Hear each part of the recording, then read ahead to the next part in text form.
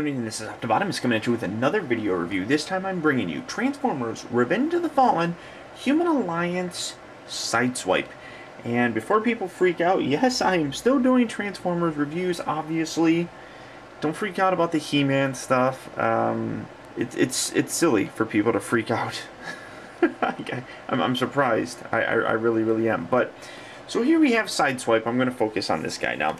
And Sideswipe with the other Human Alliance figures comes with a Sergeant Epps figure. Now, I can honestly tell you, to me, that doesn't look like Tyrese Gibson to me.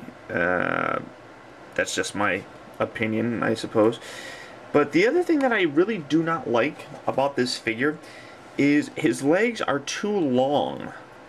If you line, here we have Sam. I'm going to zoom in a little bit more here.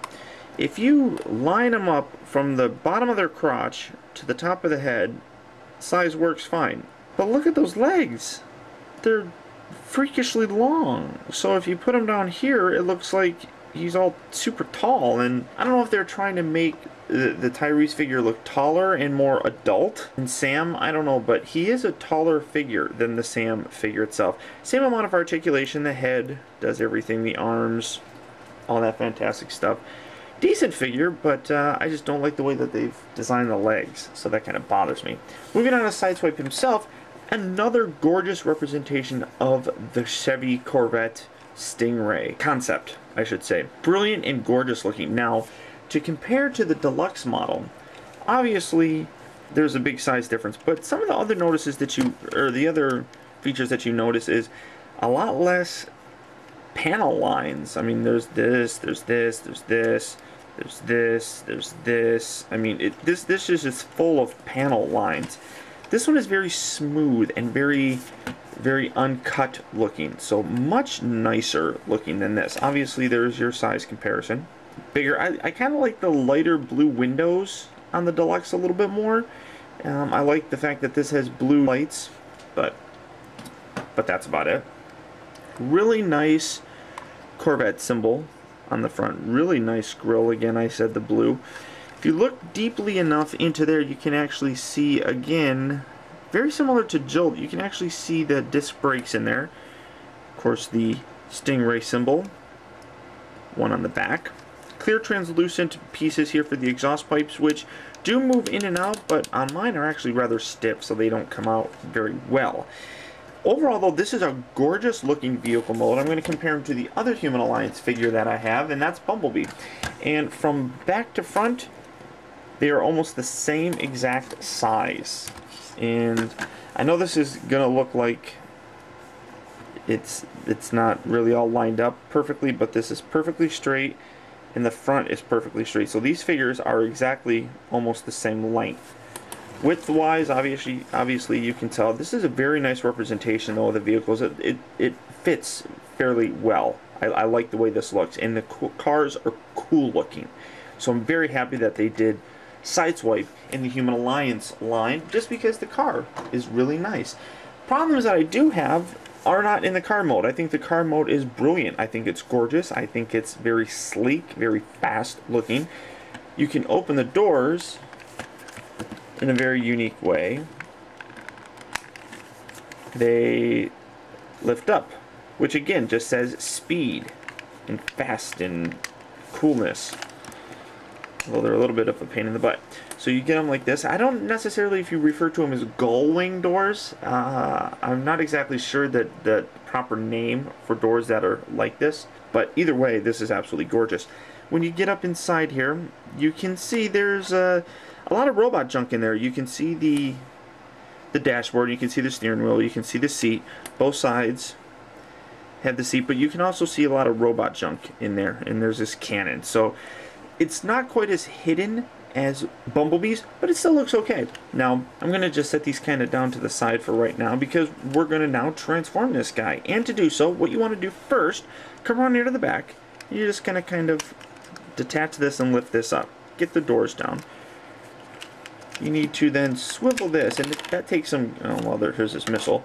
That gets some finagling to kind of get that clearance to rotate around to the side. Right here on the side here, you're going to take this and you're going to fold that under. Bring that all the way around, just like so. Really, really easy. Come around here to the bottom. And there's these little bits here, and well, here's the bottom. You can see his blades. These little bits right here, you want to just kind of detach these. Like so. I kind of lift the doors, get that out of the way. Then fold the seat. You're going to loosen all this. And this is going to, you're going to try and get this past here. It's a kind of a cumbersome mess, but once you get it past there, it's pretty actually easy. And like I said, the missile did store in here, and it just fell out, so we'll just set that off to the side. So there we go. Fold these seats up. Again, just getting everything out of the way.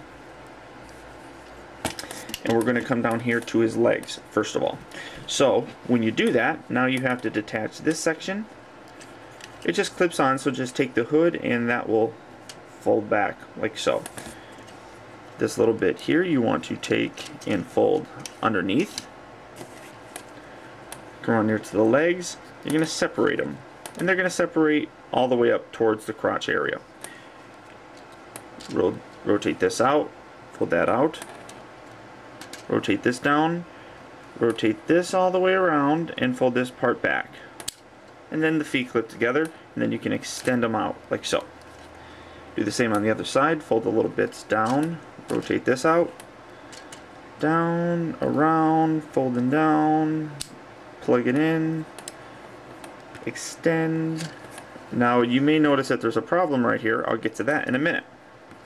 Right on the inside here, it's just kind of hard to see, but you need to get your nails in here and fold these little bits out. So you got that little bit folded out right like so do that on this other side as well. And it just adds to some depth of him. It doesn't really do anything, but there you go. And I actually forgot something down here on the wheels.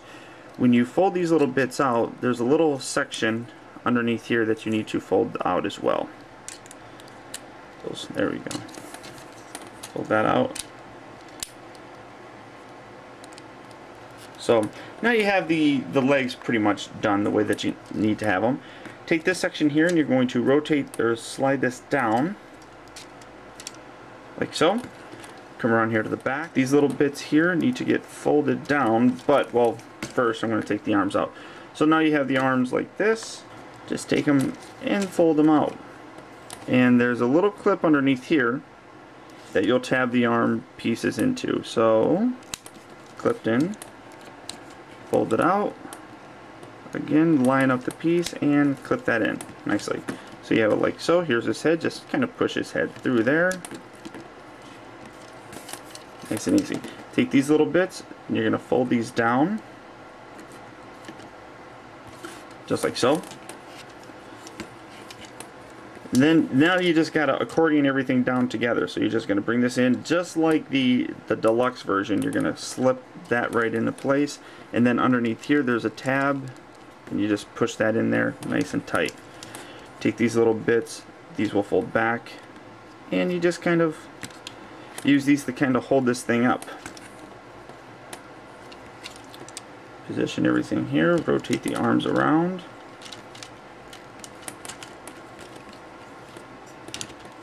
there we go and there you have Human Alliance Sideswipe I'm going to set this back here in uh, in robot mode. Um, one thing that you're going to notice, he's got a huge Gumpin backpack. It's not as bad as I thought it was going to be. It's still not very good. I don't like the fact that he's completely thin up in here and then all of this is just hanging there. That's It doesn't look good to me. And the deluxe version has the backpack too, but not noticeably as bad as this one. Um, nice, nice figure though. I, I do like the way he looks. His robot mode, in my mind though, suffers, and I'm, I'm fiddling with this cannon. His robot mode suffers. Number one, his his leg posability is not as good as you would think it is. I mean, it, it's standing actually pretty well right now, which it's just making me look like more of a douche. Um, but the back, see, he is really back heavy, and part of the problem, this is stationary. That won't fold back. But this one here folds back.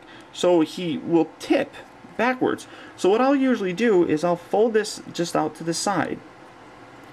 and that creates a solid base for him to stand on, kind of like heels. And he stands a whole lot better, and I, I like doing it that way. It's a little bit different, so definitely a better way of having him stand. Um, very nice looking face. His face is probably the best feature on him, I think.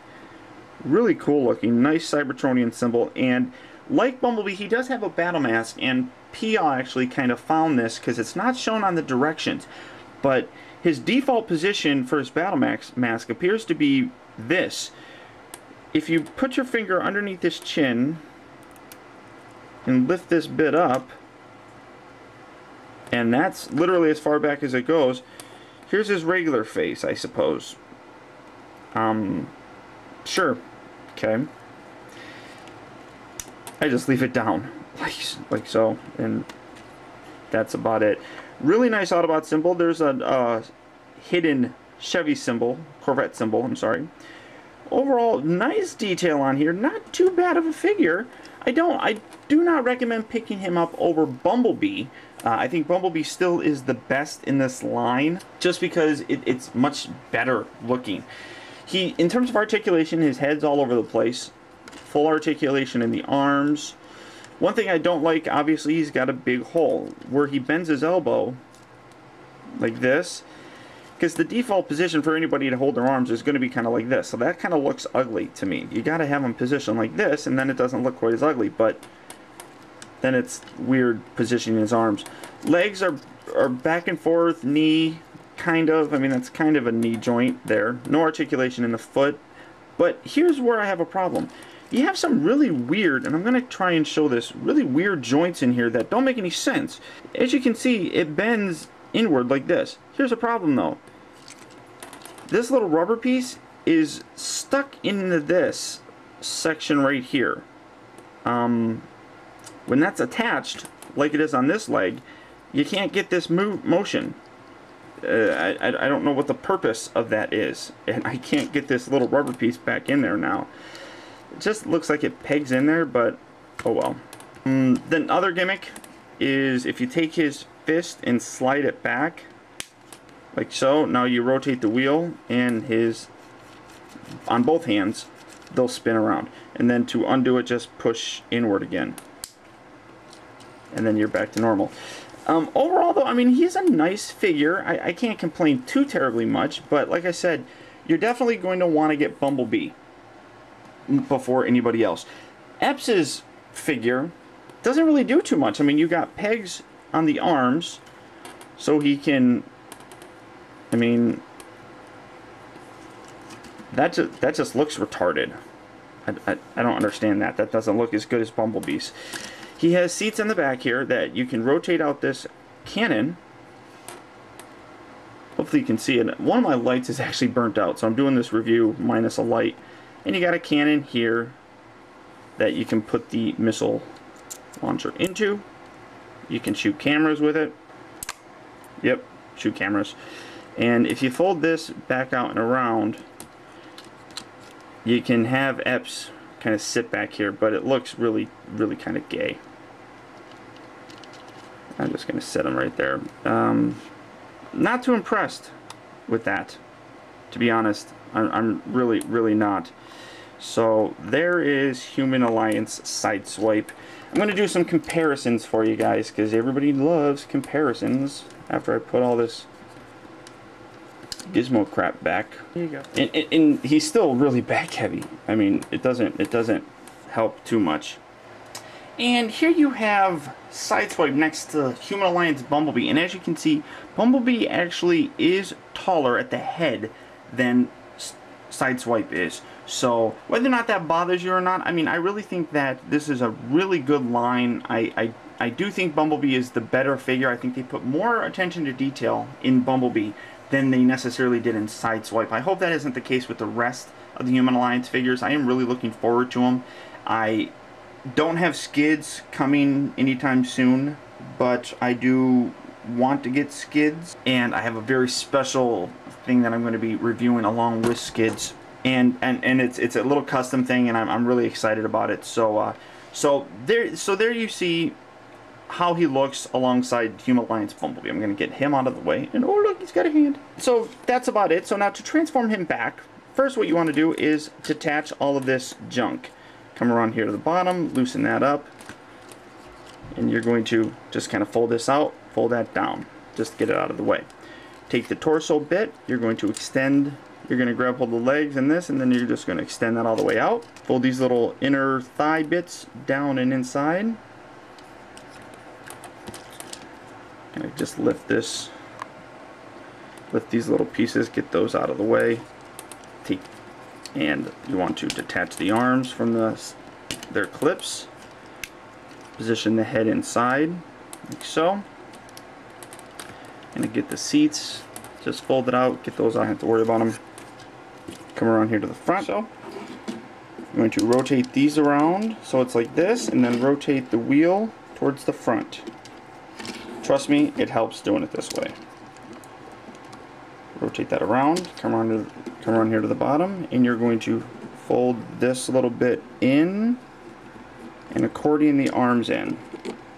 And when you do that, you should have the wheels perfectly lined up so that they can plug in. And hopefully you can see that because those doors were in the way. So again, you're going to fold this little bit in, like so. And you're going to accordion all of that in.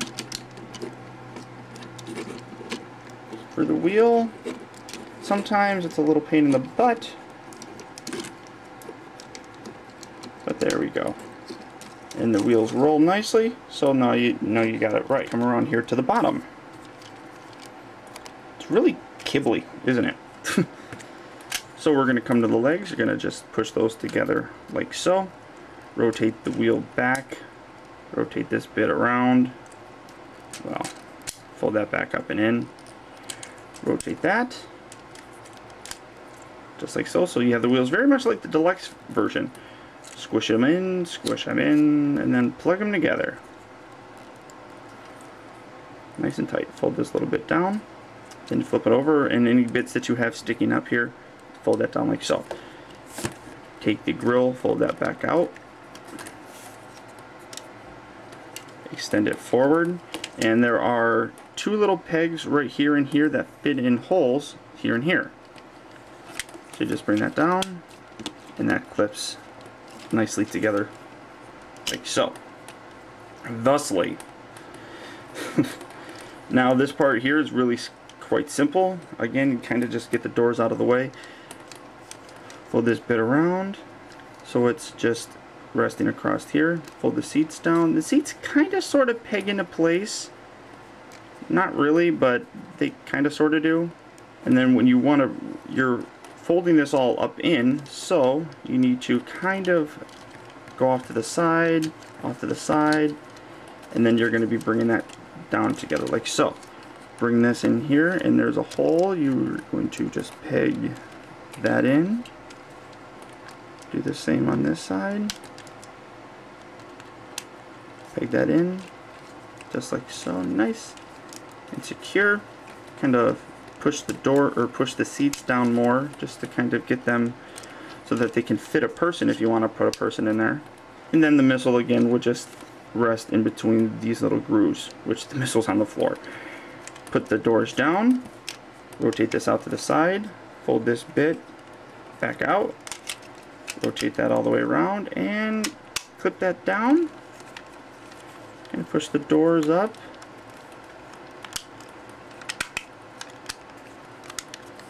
like so and thusly and then you have to try and position push it all down so that you can get the wheels rolling and there you have Human Alliance Sideswipe back in his car mode gorgeous vehicle mode. I, I, really think the vehicle mode is where this thing shines. The robot mode is okay. Transformation is actually kind of interesting. So I do, as I said, recommend picking up this figure, but you're going to want to get Bumblebee first. Bumblebee is just a much better looking figure. The transformation is more fun, and the robot mode just looks a whole lot better.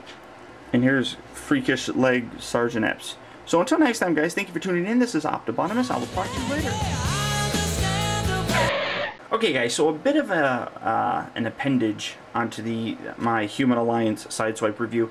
My girl came up with this brilliant idea. Why don't I show off Robot Replicas Sideswipe in the same type of general scheme of things. And so now you can see a overall size scale comparison and how the Sideswipes look through the Robot Replicas, the Deluxe, and the Human Alliance version, which is kind of like a Voyager.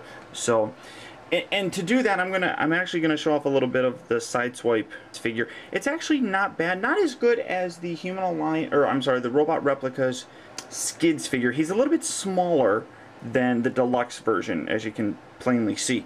But again, still fantastic articulation. The only thing that kind of sucks is he's stuck having these blades as hands. Um, back and forth. I mean, same amount of articulation. The articulation on this thing is fantastic. I, I really like the way that it looks. It, it, goes perfectly with me having him in robot mode, me having him in vehicle mode, and him being displayed with my alternators and my other Human Alliance figures. So, there you go, guys. I just wanted to show this off real quick. So, again, thank you for tuning in.